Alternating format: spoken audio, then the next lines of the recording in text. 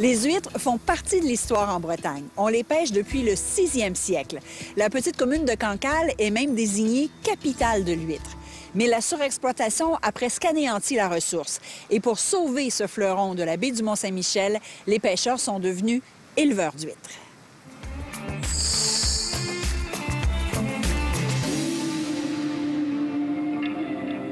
Face au Mont-Saint-Michel, sur la côte d'Émeraude, la communauté de Cancale est l'écran idéal pour l'élevage des huîtres.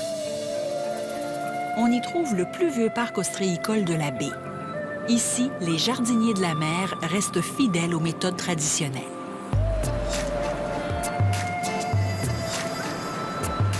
L'ostréiculture est la principale activité de cette petite ville, avec la pêche, l'agriculture maraîchère et le tourisme presque toute l'économie s'organise autour du petit port de pêche, que ce soit pour l'exportation ou la vente directe. Stéphane Allôme est ostréiculteur à Cancale. On a trois ans, quasiment trois ans de stock, parce qu'il faut trois ans pour élever une huître en moyenne. Ça fait, euh, on a besoin à peu près de 30 millions de naissins par an, donc presque 90 millions d'huîtres, euh, d'huîtres vraiment dans le 90 millions d'huîtres, un chiffre astronomique mais surtout un travail fastidieux qui occupe à plein temps la dizaine d'employés de l'exploitation. L'ostréiculture est complexe. C'est un labeur qui s'étale sur plusieurs années. Stéphane Allombe nous amène au milieu de ces parcs à huîtres. Il s'agit en réalité d'anciens bassins dans lesquels les huîtres étaient préparées pour le trempage. C'est le nid idéal dans lequel les naissins, des bébés, grandissent pour devenir des huîtres.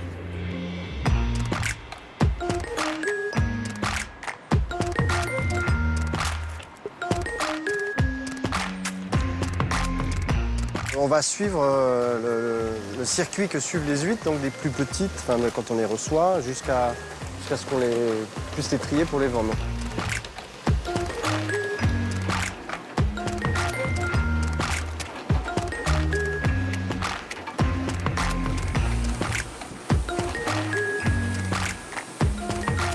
Les naissins, ce sont les bébés huîtres qu'on a mis euh, il y a un an et demi à l'eau qui ont grandi et là qu'on retrie pour la deuxième période d'élevage d'un an et demi. Donc ça se fait avec une machine et ça se passe ici. Quand on les reçoit, elles sont grosses comme l'ongle du petit doigt en fait. Hein. Euh, on va les élever pendant 18 mois et au bout de ces 18 mois, on va avoir euh, des huîtres de différentes tailles. Le but recherché, c'est d'avoir des, huîtres vendables le plus homogènes possible, c'est-à-dire autour du numéro 2 et du numéro 3. Au bout des premiers 18 mois, on recalibre ici et ensuite on les remet en poche, on les renvoie à l'élevage et on va les relever au bout de 18 mois pour les trier de nouveau. Et là, on sera sur des huîtres de taille vendable. Stéphane n'a pas de pouponnière. Il va pêcher les naissins plus au sud, dans la Vendée et dans la région d'Arcachon. Elles ont été lavées, elles, passent dans ce tapis-là. Et euh, les rouleaux, vont les mettre euh, les unes derrière les autres avec la force centrifuge. Les huîtres tournent à l'intérieur des rouleaux et elles vont tomber sur les séparateurs. Donc elles vont être triées euh, une par une. Les mollusques sont manipulés à toutes les étapes de la production. Tout est cadencé. Les huîtres sont véritablement bichonnées.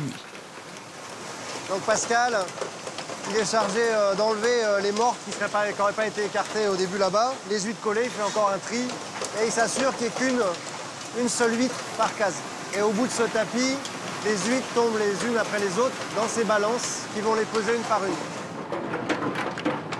Celles qui sont en caisse vont à l'école des huîtres, dans le bâtiment d'expédition. Et oui, certaines huîtres iront à l'école. Il faut les préparer à affronter le long voyage de l'expédition.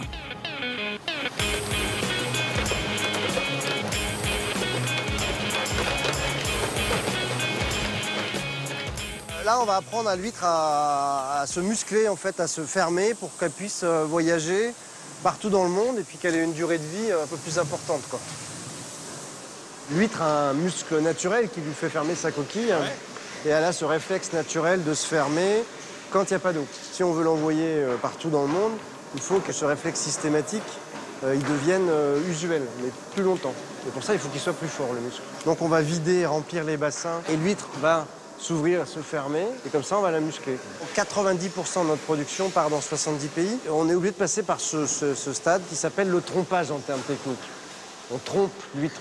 Donc elle peut rester jusqu'à 8 heures hors de l'eau. Et pour savoir qui a appris, qui n'a pas appris, comme dans toutes les écoles, on va faire subir un examen à chaque huître. On va lui demander, une par une, si elle a appris, si elle n'a pas appris.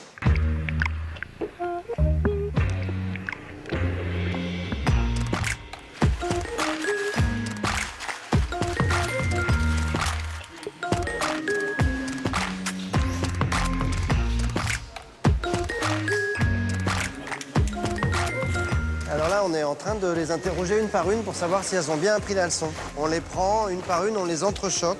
Si on a un bruit de cailloux comme ça, on est sûr qu'elles sont bien pleines, hermétiquement closes, qu'elles peuvent voyager, donc elles ont bien appris la leçon. Si jamais elles font un bruit un peu plus creux, euh, comme celui-là, celle-là, on voit qu'elle est blessée sur le bout, donc euh, celle-là, évidemment, on ne va pas l'envoyer, elle ne peut pas voyager. Donc, euh, comme dans toutes les écoles, quand on n'a pas appris, ben, on repart euh, six mois, euh, on redouble. hein. Donc elle, elle redouble six mois sur les parcs. Cette méthode d'élevage, réalisée dans une baie envahie par les plus grands marais d'Europe, donnera ultimement une huître de grande qualité qui se sera développée quasi naturellement.